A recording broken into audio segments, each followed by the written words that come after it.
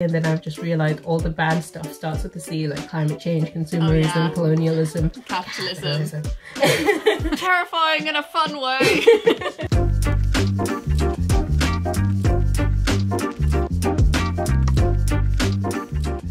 Hello, my name is Leena. Welcome back to a series I've started on my channel called No Books on a Dead Planet. Um, my thoughts behind this series was that I am personally an, an avoidant person in general, to be honest. I procrastinate a lot, and particularly when it comes to the climate crisis, for some reason I can't get myself to act like there is a crisis. Um, I freeze up a lot. I'm very bad at having conversations about it, uh, but I'm trying to be better at it. This is a series where I tackle the books that you might be squeamish to read. I am personally squeamish to read, but I'm bringing a lovely, friendly, intellectual person along with me to read it with me and make me do it. We're going to have really cozy, friendly chats about what we've read in the books, and hopefully it will either inspire you to read the book or at least hear some of our thoughts about the book um, so you can get some of that information by proxy. My guest today is Ash Tanya. Hello! Welcome to Ash. Hi.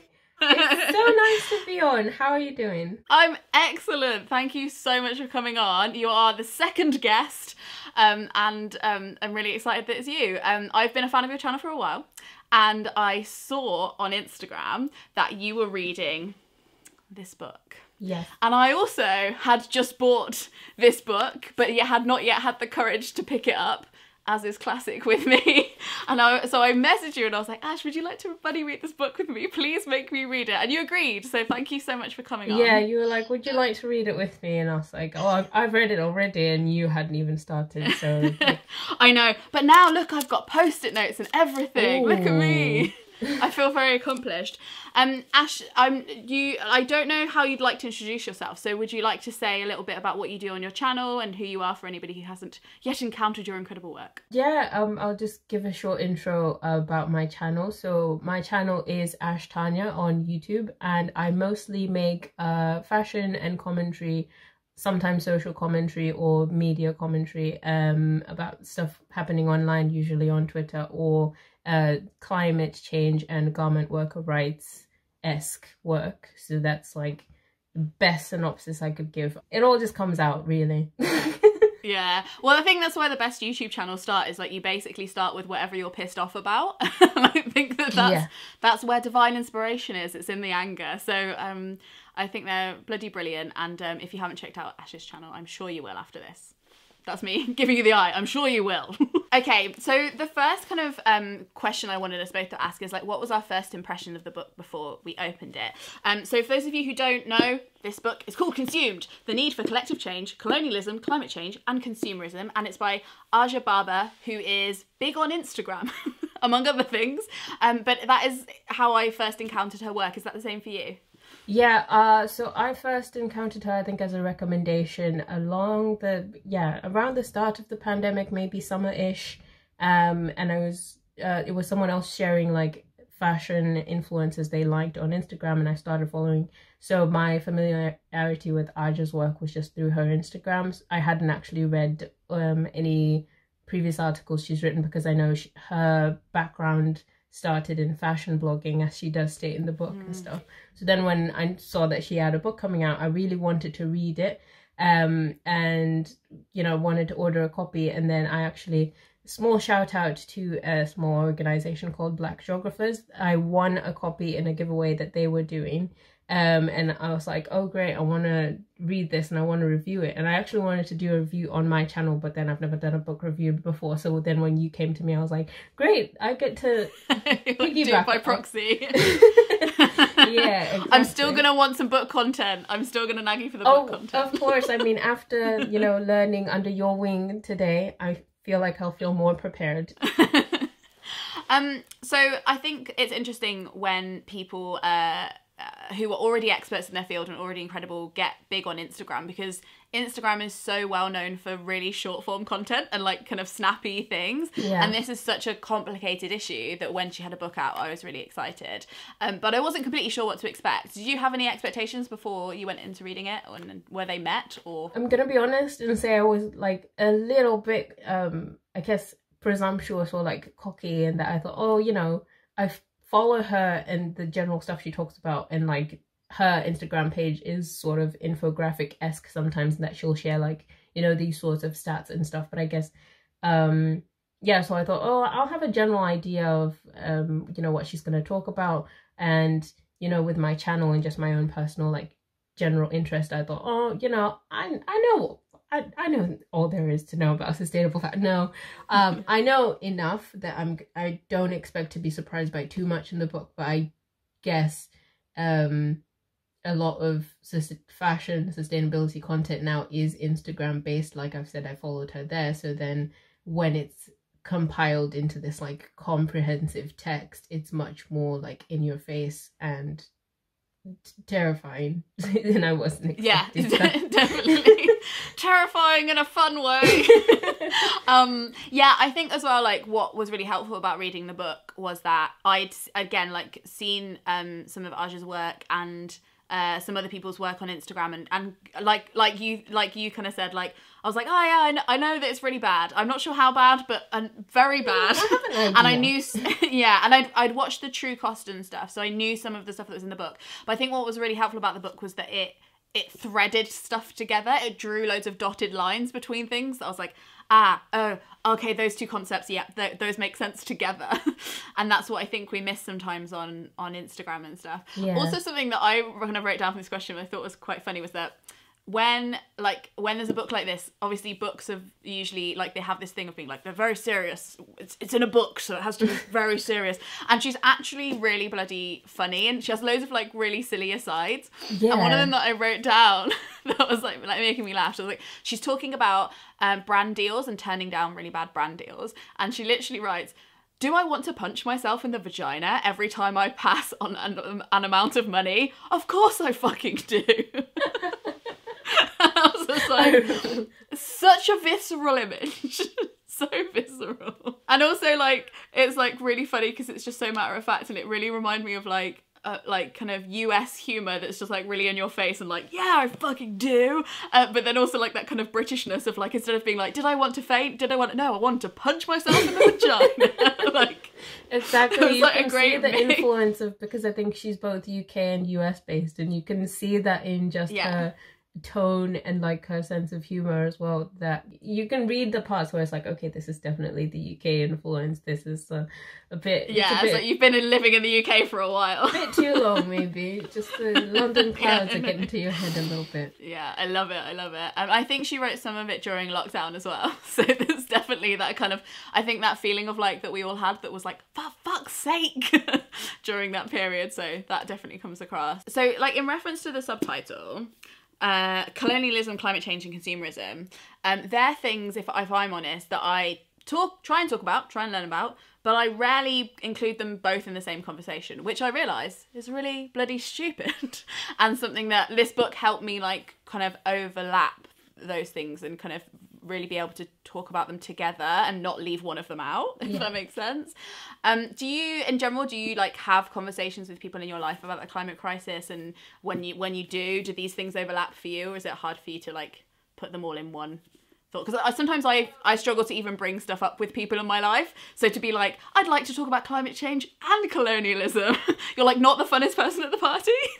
no, you know what I mean? No, it just kind of it just kind of dies. I think my uh sort of social pool is immediately biased in that like I studied geography and geology and had loads of like friends in environmental science and that sort of stuff so of course they would be but then because I'm like oh of course they would agree on this stuff I guess I'm less likely to bring it up because um it kind mm. of feels like I'm preaching to the choir but when it does like come up in general like conversation with other people like I might bring up consumerism but not use the word uh, I think I don't know if you've noticed on my channel, but usually when I'm avoiding like big problematic words with YouTube, I'll just be like the big C, and then I've just realized all the bad stuff starts with the C, like climate change, consumerism, oh, yeah. colonialism, capitalism, yeah. and also the four-letter word.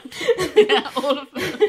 So I'll just be like, oh yeah, the big the big C really like messes us over with that, doesn't it? Or like, oh, do you really need that item though? I mean, it's all just consumerism and marketing that's pushing it pushing it towards us or you know i'll just try and make like slight comments that don't come across as me being overbearing on the other person or um intimidating mm. them or like judging them for their choice. Um, but then when it comes to like the overlap of uh all three, I don't I I don't bring it up in like general life at all. I think that's what my YouTube channel is for. It's just a place for me to go and and, and rant about all the stuff I feel like I can't in, which is really bad though because we should be able to um talk to the people we know, especially um about stuff. Yeah, I I feel the same. It's like there's it feels like there's never really a good time, but but then you end up never talking about it and Yeah. then wonder what kind of I know there's this thing in um I'm not sure where they do it, but I've I've been to a few um or they do like death cafes. I don't know if you've ever heard of this, but because there's this this positive death movement that's like we need to talk about dying. People are scared of dying. They don't want to talk about death. That's not good. And they set up these death cafes where you can go and like talk to strangers and you get set up in little groups and you're just allowed to talk about death. and it sounds really morbid. And I watched like a little documentary and I thought it was really interesting. And I ended up going to one because there's one at a festival I went to, and it was actually really nice. but like, it's so so. I'm like, can we not have like climate cafes? I think like a allowed to. cafe sounds good. I don't know about a death cafe. To, you know, for some reason Yeah. it sounds like something a life insurance company would set up. and then while you're in there, they send Yeah. you an ad for. It would be one of those things that started with really good intentions, but then you'd need a sponsor. Yes. and, and then you'd have to go. yes. It would have to go dark. it, would, it would be. It would be the worst. I know what you're saying, like a sort of uh discussion space to talk about that but then it's also how do you oh no how do you market it so that it seems like it's open for everyone and you don't attract a Mm. certain again preaching to the choir type vibe Yeah, definitely. I think that's something that I struggle with. Is like when I have gone to like climate meetups, I'm I'm preaching to the choir, and I can see that I'm like, okay, everyone here gets it, and it's yeah not. And like you were saying, you you replace words like when you say like instead of saying consumerism and stuff, you like say other words or like so maybe we need. I don't know, like Doom Cafe. it's a bit sad, isn't it? like, there's got to be something that's like approachable, but also like you'll find it if you're looking for it. it kind of reminds me of the struggle we used to have with like environmental campaigns and stuff at uni is that you would just have the same cohort of people in the same types of courses coming in other people not being mm. interested.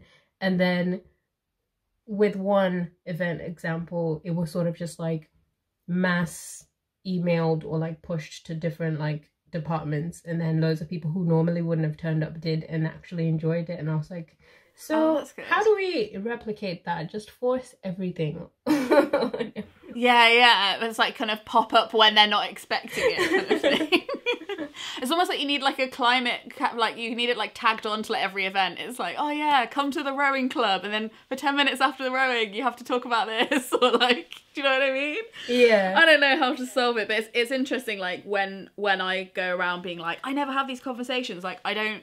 There's no there's no space for them, and either I need to work out how to make space for them, or I, like, do you know what I mean? I need to recognize why. Anyway, this is just brain farts I'm having. Uh, oh yeah, okay. Something that actually this is linked to what you just talked about. One of my notes about this was that I I realized that the book did help me like switch some of my words up.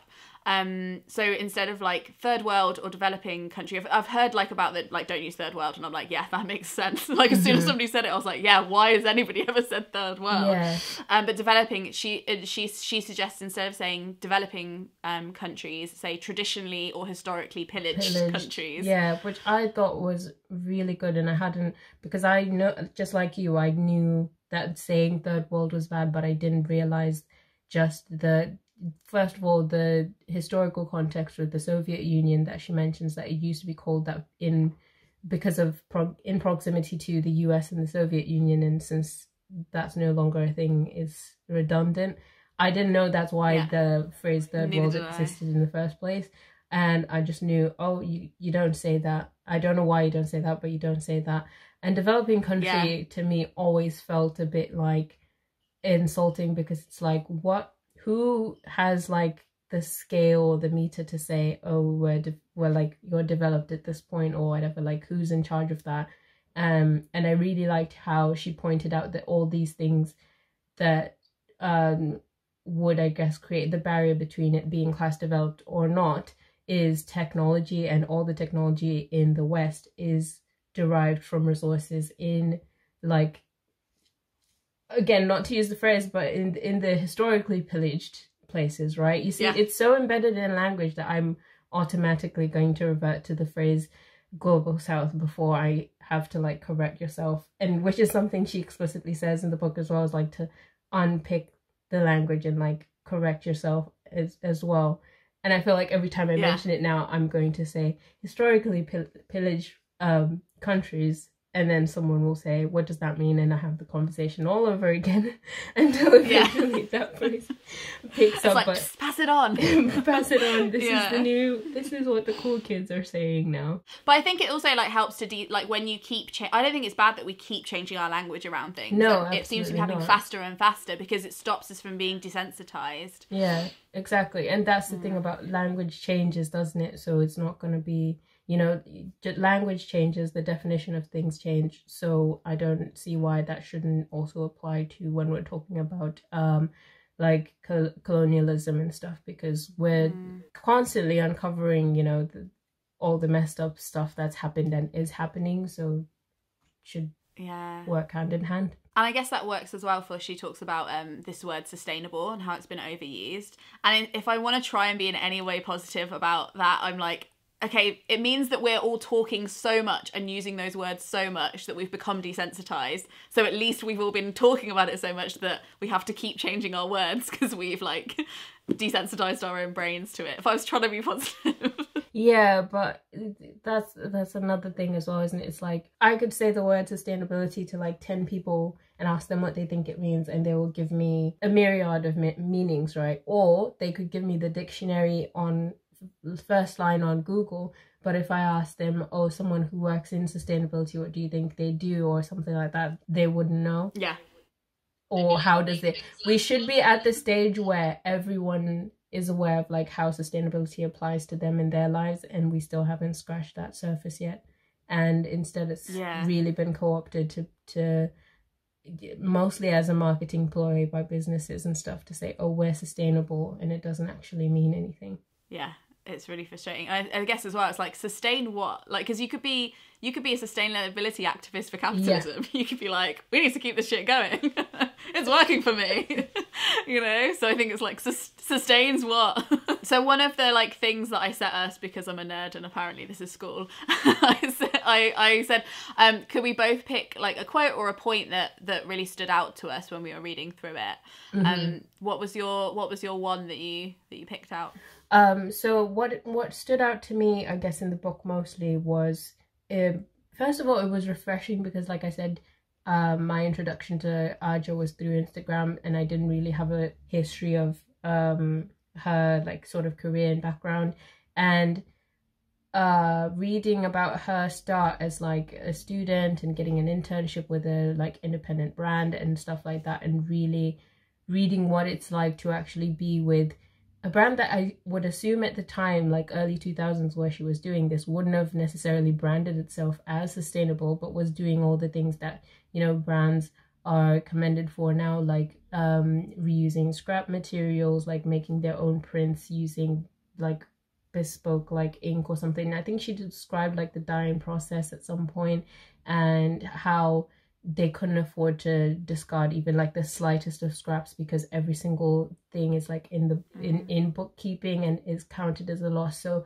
every single bit of uh fabric and labor is like immediately there's an output for it and there's always like util- utilization of everything absolutely everything. And it kind of made me realize how that is a possible business model. So like when we're talking about oh we want this sort of accountability from brands and sometimes you know when I'm talking about it like in videos or whatever I'm just thinking okay but is this actually a feasible thing that's ever happened and reading that was kind of like okay this is a thing that has happened within our lifetime and in the span of 20 odd years we've moved to this fast fashion model where um you know, a dress that's been seen on the runway today will be copied and mass produced by next week. And then by the week afterwards, people on TikTok are wearing something else that's completely different. Um, and then a few chapters down, Aja starts talking about um, the ties between social media and fast fashion and I never realized Mm. just how like the two are essentially interlinked. Like you can't separate the two because it's because of social media that we want to keep up appearances and keep buying more clothes and it's because people are pushed to buy more clothes um and they're marketed on social media and so they, they and, and it's like an over Yeah. it's such an in sync like supply and demand chain that for what it wants to achieve works perfectly and i guess that was just extremely hard to to take in that this monster is like you you really can't separate the two like at all um and Yeah. it's just kind of like mind blowing to really think about and see like i was saying to see in text uh so i think that was it for me Yeah, definitely. And it's it's sometimes like um refreshing but also like just so irritating to realize that we as humans just like chase our tails all the time. We're just like we just do the same habits over and over again and we get faster and faster and it's like what? And it also kind of reminded me of like, you know, Victorian women who would be like they change for dinner and they'd like change for breakfast and it feels like we have to have multiple outfits a day, Yeah. multiple outfits a week and it's like it is like kind of being watched, I guess. It's it's uh terrifying. yeah exactly. And except for you know in the case of like with victorian women i um not very well versed on that but i'd assume it's for the more like posh or like upper class people who could yeah, afford the to do that. real whereas fast fashion is like you don't need all you don't need to be rich. You can you know change outfits and like look this way on a budget. And you know it's like a whole aspiration thing that ties into like consumerism um and also like i guess class because everyone wants to uh, no one wants to appear poor even though you get into the fast fashion debate and people are like oh we buy fast fashion because we're poor but the people who are buying excess fast fashion are really not Oh, oh, and I also really enjoyed her definition of poverty because I think a lot of people need. So I don't have the exact page number for that. I don't know if you do. I needed to mark this, but 203. 203 in your hymn books. Please turn. We will sing. when she starts to to give like the proper definitions of poor and working poor, um, which I think most people usually um change that for working class, don't they? And I feel like that's intentional in a way, but it's like what I feel like working poor really drives home the point she's trying to make make more. Yeah. But anyway, so having substandard, unstable, inconsistent housing, underemployed, underpaid, and sometimes long term use of public benefits, little access to higher education, and chronic lack of health care, food, or other necessities. A TikTok uh, video creator who's currently at university on track to make, I don't know how much in some marketing job somewhere buying like loads of Zara for a haul that they're gonna write off as tax as a tra- tax break is not poor. Yeah. Because I guess poor. it's that thing of like you sometimes I think what we're what we're saying when we say like oh that's not affordable when when you're like when you have a lifestyle like you've just described is that um I can't buy at the volume that I'd like. Mm. I can't afford to buy the volume and and rather than being like I can't afford clothes whatsoever. I'm going to be naked if I can't you know you're right it's really different. And I think like her definitions were really really really interesting. And she she uses her definitions against her own life as well. She's like i don't have any of these problems therefore i don't class myself as somebody who can't afford um, Yeah.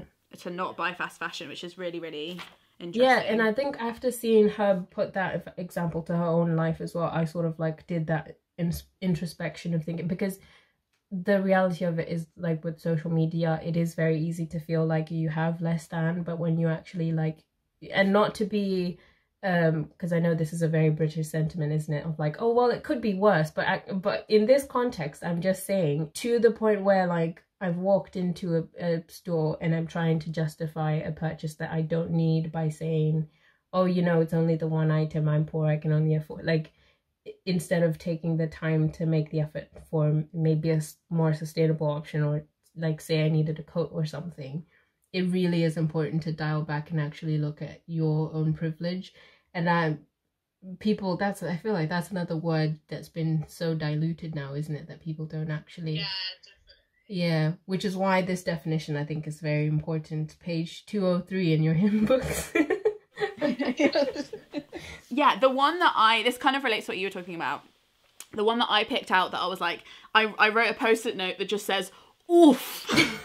As in like, oh, that, that one hurt. Um, she's quoting somebody called Liz. Who is Liz? Liz Ricketts of the OR Foundation. We're on 138. like to follow along at home. She says, fundamentally, NIMBYism is the idea that something isn't good enough for me, but it will be fine for you. It is the definition of supremacism. To think that I won't wear this because it has a hole in it, but somebody else can wear it, is literally to think that I am better than someone else, even if the impulse is to give something away um, that is filled with good intentions. However, the declared intentions, the NIMBY attitude manifests further injustice. And I, I feel like I have donated so many clothes to charity because I was like, I don't really think this is like my highest quality item. I think mm. I can like, do you know what I mean? And I'm yeah. like, what a dick! Was such a dick. Yeah, I I know I know exactly what you mean, but it doesn't really start off with that.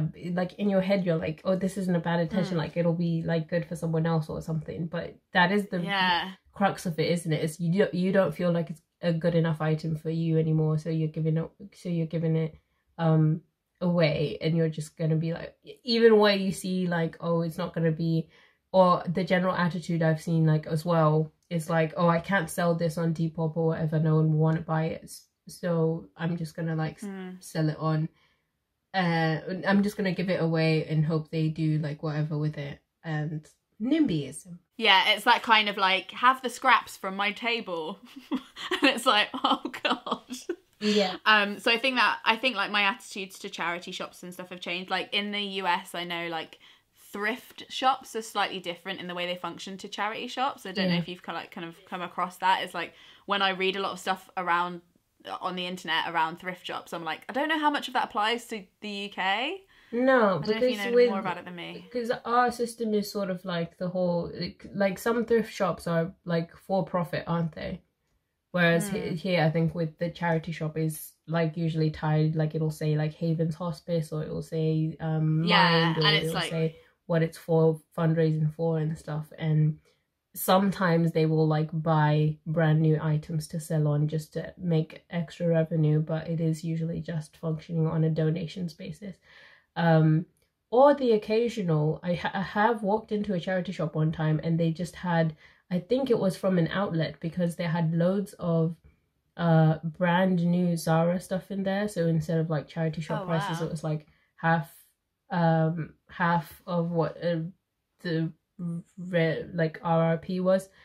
Um, which I thought how many more stores do this though like do they actually like or do they because with the numbers we have on record of stores just throwing away like returns and stuff do they also yeah. give them away to charity shops or like to shelters and stuff i don't know that that was um one of the facts in this that really blew my mind was um so they talk about this place called Kantamanto, which is a yes. marketplace where a lot Have you of the seen the videos of it? To, I've seen one of them. I think was on Greenpeace website. It was very brief, but I don't know that much about it when I've seen it and when I was like reading about it, it reminded me of um, back home. So um, I'm from Zimbabwe, and there my introduction to secondhand clothing was through not as drastic as Kantamanto, but like those sort of like secondhand clothes that so all the secondhand clothes that don't make it in charity shops and thrift shops in the US or wherever will be shipped to like historically pillaged regions of the world.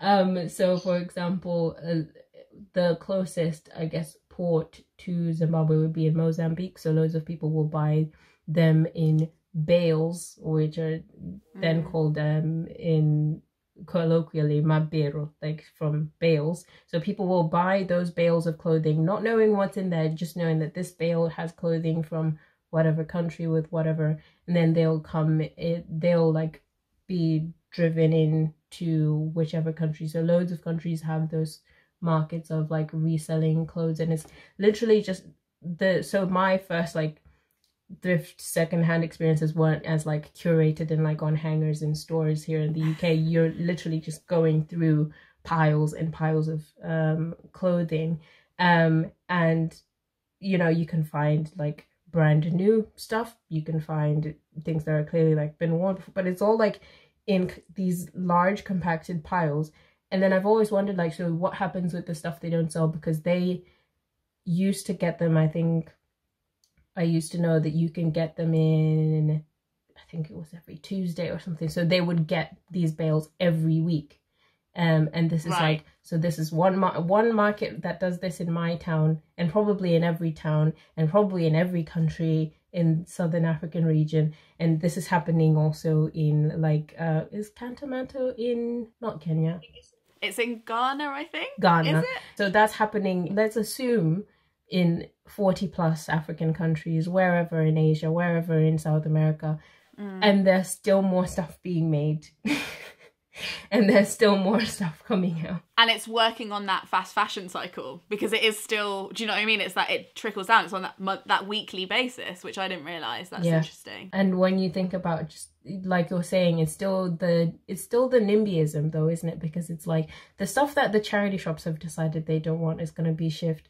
In fact, it's not even directly from the UK. I would say because I think UK stuff from something I've read before, UK stuff will first go to like Eastern Europe and then to Africa. So right so it goes through so it goes through like this whole like you know clothes that have traveled more than I have really. they've really seen the side They're really seen this. And then if they don't make it at their last de- destination, so whether that's like back in my hometown or in Kantamanto or wherever, then they're gonna end up in a landfill somewhere and languish for, you know. And it's that linear cycle of how how long is it gonna take for it to get to the end of the line? But it's just like a line, and there's no it's not circular as we would want it to be a circular um economy. and like with the markets that you've been to like what's the atmosphere like are people going in and like looking for specific things or are they kind of just they're there to peruse and like just see what they can find or what's the it's a see what you can find vibe well it was for me anyway because i would just i was would just be there like oh let's see if i let's see if i'm lucky it, well, this is actually a funny thought to have because wa- uh, i was obviously much younger then and be like let's see if i'm lucky enough to find something that's like trendy now. And sometimes you would Right. which is very worrying because that means someone's bought this new t-shirt off topshop or whatever. And in Yeah. the span of however long maybe a month it's already made its way down to wherever. Yeah you're like how did you get how here did you how did you get here? Like i remember specifically this one uh crop top i got which i had for a while until it eventually i think ripped or something it was like a crop top shorts set that was like purple in the front and i think after looking years later it was from shein and that was before people were as trusting of Shein. Now it was like when people were still like, oh, there's this really dodgy company called Shein, but if you wait a few weeks, you might get a nice like item. And I've got that in what would have been maybe early 2018 ish. And then when I looked up, because so I would look up to see the item I've got where it's come from, and it must have been up on the website maybe just a few months before then which is like Mm. concern it's concerning isn't it Yeah, it's scary. Another thing that like Aja says to do in the book, she's like, wherever you are right now, go and look at your labels of the clothes. Like, where are your clothes from? The ones that you're literally wearing right now. And she does a lot of like actions like that, doesn't she? She's like, yes. One of the facts that I'd written down from that about the the this specific Kantamanto market is that 25% of the shipping containers received in Kantamanto are free t-shirts. So you know the ones the confer- like the ones you get for conferences or like football teams Yeah. or like do you know what I mean like the charity run t-shirts and I'm like oh my god do you like, we remember definitely how didn't need many those ones. i think i remember specifically i can't remember his name now but the guy who's like one of the main uh love interests in jane the virgin the guy who plays that character i think he Oh, yeah. he i used to follow him a lot on instagram for some reason during covid because he was doing loads of like i mean yeah but then he had like this weird campaign going where it's like you could buy a t-shirt that would then like fund like I don't know, healthcare or was it PPE for healthcare workers? And I was like, why wouldn't you just ask people to donate directly to? yeah Why do I need a T-shirt as an incentive to do this? A T-shirt that will make no sense in any other context because I think it had like a very specific uh caption on it. But I think that happens a lot, isn't it? That people are like, oh, buy this T-shirt to fundraise for Yeah. whatever, whatever, and then they make too many of them. Yeah, and it's not even like the ones that you take home and then you sleep in for a while and like you may do the odd like workout in. It's the ones that you don't see because they literally never get given out and then they're just and I, No, and another thing as well is like tote bags are becoming a problem, be- like because Mm. for things like whether it's university open days or it's conferences or whatever, you just be, oh like here's a free tote bag, and then they have so many of them that have like specific dates for a con- conference or something, so it's like not usable Yeah. for anything else. but they're literally like built to to date. they're literally just like this is this. It's kind of like I remember at uni I'd have like like we we had like t-shirts for like going on holiday. I'm like what what what what the hell was that? like it was like I literally was like Tenerife 08. I've got a t-shirt that says that somewhere and I'm like it makes what sense for some things, right? Like you have a hoodie saying, "Oh, like class of whatever," but then you wear that Mm. forever because it's you know like memories of your high school or whatever. But Yeah. for everything, there has to be a t-shirt. Yeah, and there's definitely like a lot of surplus floating about that's that's really really mad. Um, one of the questions I had was, would we recommend this to other people? Would it be for a specific person at a specific time in their awakening, I guess, or would it be like literally for everybody? Like, how do you feel about that? Um, as much as I'll say like her writing is like very easy going and like you're saying not very like as formal as the idea of like it's in a book comes across. But i do understand that non-fiction reading isn't for everybody. Um i think i would mostly recommend it to a person who's like in their baby curiosity phase of being like um, i'm not really sure what to do and i'm not sure what to do with all these stats being thrown at me on instagram like infographics what does it all mean? Where do i fit in the context? Because i feel like um because like you were saying you know you're connecting all these whether it's like the stats or Aja's story specifically to your own life i feel like it's really useful in that respect of like see where you are through Aja's story. So whether you're still in in your trying to follow every trend on instagram page and you're reaching a fatigue point or you've reached the point of like this is this is enough i'm tired of doing this but i want to you know you can fit yourself in some in somehow like along the timeline but i would recommend it to someone who's just hit that early curiosity phase because i feel like this would have been a really good read for me because it's taken a bit of a while to uh, reach where, where i am now because this wonderful resource wasn't there and maybe i also just wasn't a keen reader at the time i don't know Yeah, definitely. And I think I think like it uh, like I'd I think I'd say the same. It's like it some of it some of she quotes from a lot of different people. So if you don't know any of the resources, then you're like, "Oh, I'll watch this documentary after this," or like, "Oh, I'll listen to that podcast." And some of that I've already consumed. But like you said, there's so much that like extra like this I've just like bookmarked this, this is like a map. I don't know if yeah can i can it. see it Um, and it it's the one that's like um traces the trade routes of the fast fashion industry against the import export routes for colonialism, and it's like they're literally the same. they're literally and we're still exploiting It's so people. we're not paying it? people.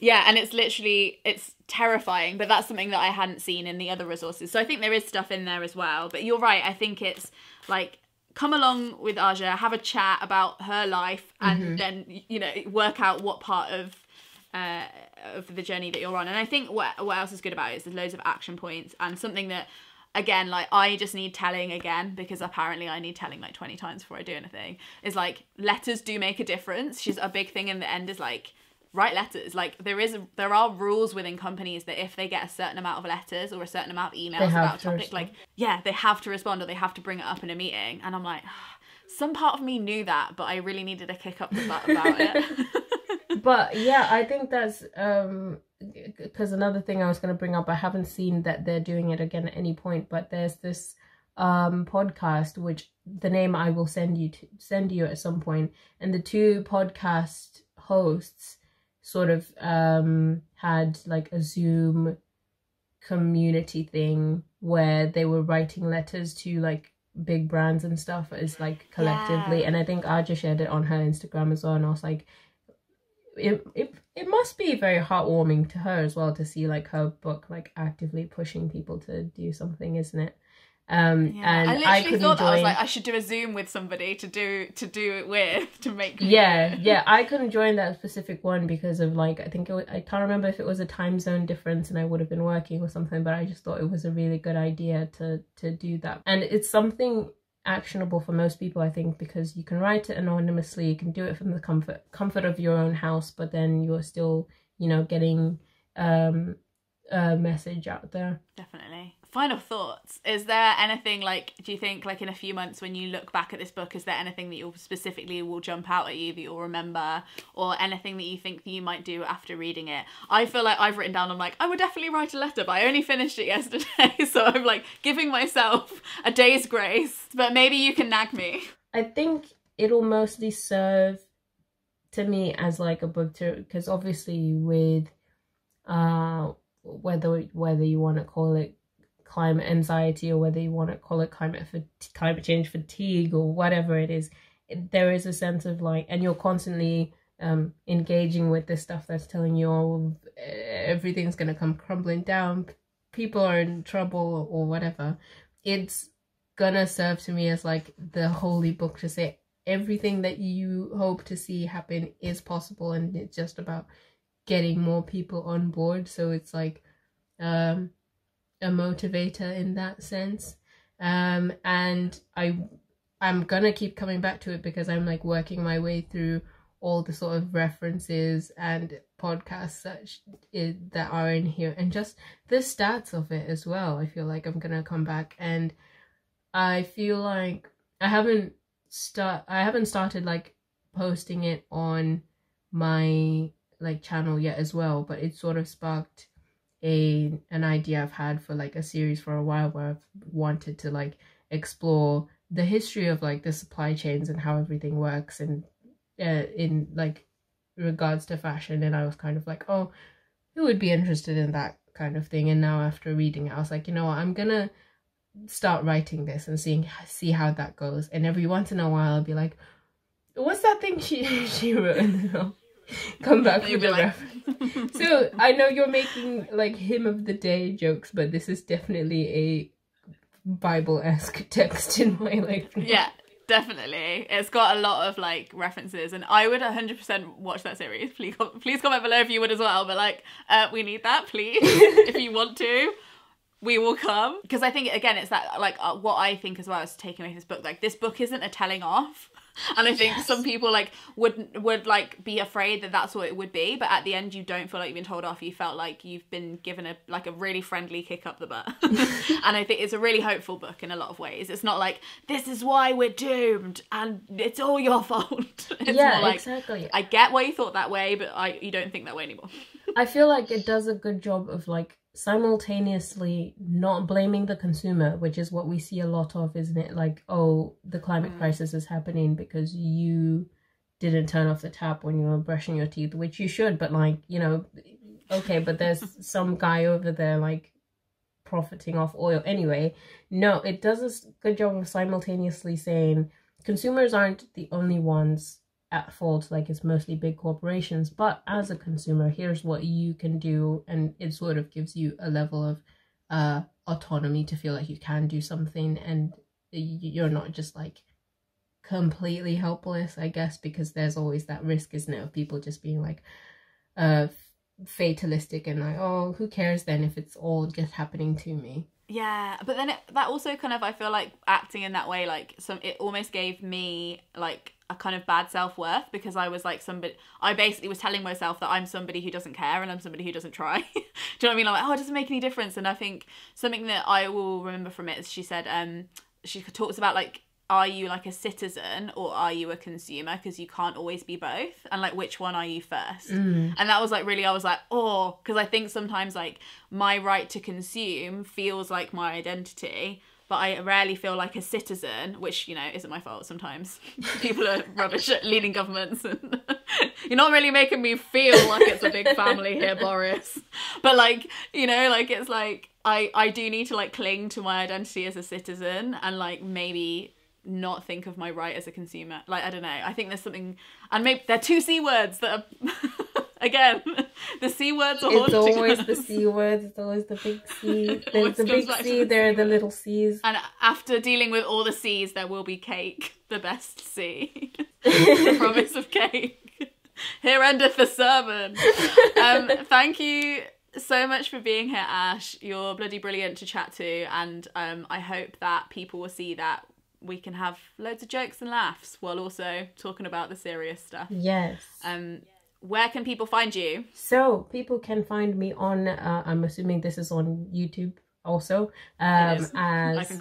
Ash Tanya, and I'm also uh, on Twitter if you would like to hear mundane updates about my day at Spinelli Ash, and I'm also on Instagram as Ash with a double H underscore Tanya. All the places. Perfect. And next month, we are going to be reading Braiding Sweetgrass with Levi of Levi and Leah and Future Proof. I'm very excited about that. So if you do want to join in, that's the book we're reading. Thank you so much for all of your wisdom and thoughts. No, thank you so much for having me. And thank you everybody for watching and having a difficult conversation with us. If you want to think about the climate, there's more videos here. If you want to take a break and think about some other stuff, there's some videos here. Here's Ash's channel. Just click on that. Fun times all around. Um, thank you so much for watching. Frog snog out. Ugh, I'm gonna reach over now.